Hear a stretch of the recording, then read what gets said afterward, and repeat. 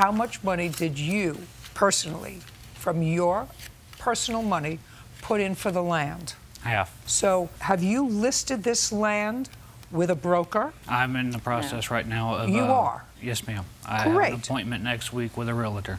Oh, fabulous. Then you're here, all here a little prematurely because what you have to do with property is sell it. And if it's in both your names, you're going to divide it in half. Do you understand? That's what I wanted to do, but Well- he wanted more than half, and No, I well, can, I pay, I paid for the Listen, property. I, I don't care. Do you understand? So if you're going to sell it, I would suggest you do it civilly because in a civilized way, I don't mean civilly, of course it's civil. I mean in a civilized way, sell it and each take half. Perfect. So you're here prematurely on the land, but that takes care of one problem that I've just resolved. The second one is with the trailer. Who purchased the trailer? She uh, took out a loan on the property, and it was coming out of the joint account. I took Okay, so a- just a I sec. took a signature loan out. I don't care. Sell it. The trailer. How much was the trailer? Twelve thousand five hundred. It's got to be sold and split it.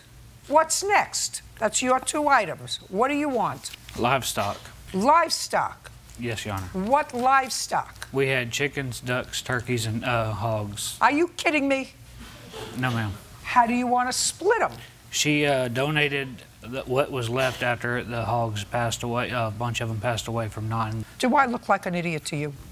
Do I look as if I'm going to entertain that part? No, The- Your the- we're talking about big deal. We're Yes, talking about land and a $12,000 trailer that have to be sold and the proceeds divided in half because they're in both your names. Do you understand what I'm ma'am. saying? Don't talk to me about chickens.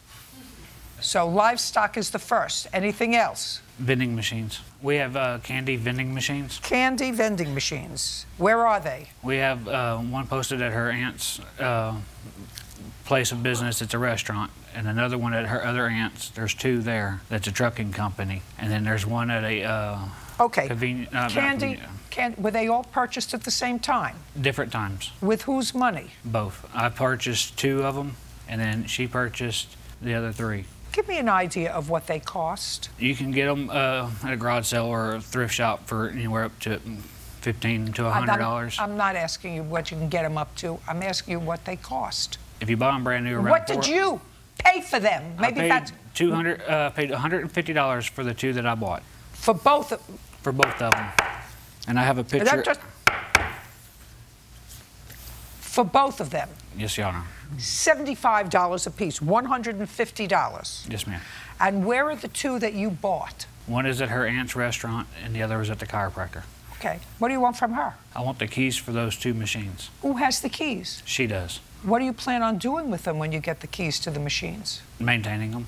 Do you collect money from them? Yes, Your Honor. How much money did you collect from them? You have the keys. The keys are at the house. The last time we checked the coins, you get like forty to fifty dollars out of them. Ms. Thompson, this is what I'm suggesting to you.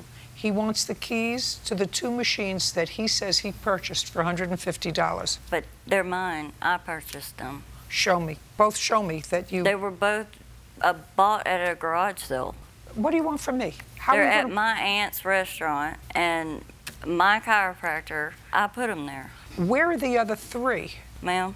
He said you have five altogether. Yes, ma'am. Where are the other three? There's two at my aunt's in Sulphur, one at my aunt's uh, restaurant in Starks, one at my chiropractor, and one, which that one refinery. in Lake Charles is his. That's at um, a chemical plant, and the other ones that he bought, he sold. Okay, so he has one according to you. Yes, ma'am. Do you have the key to that? I think so. Great. Give him the key to that one. Okay. Perfect. He gets one key, and you have had your two items, and you're here prematurely because you have to sell the property and the trailer. And I suggest that you divide the proceeds equally. Goodbye. Thank you. Your Honor, what about my livestock? I just told you about your livestock. She uh, donated what I had. I don't care. How does that excuse you? May step out.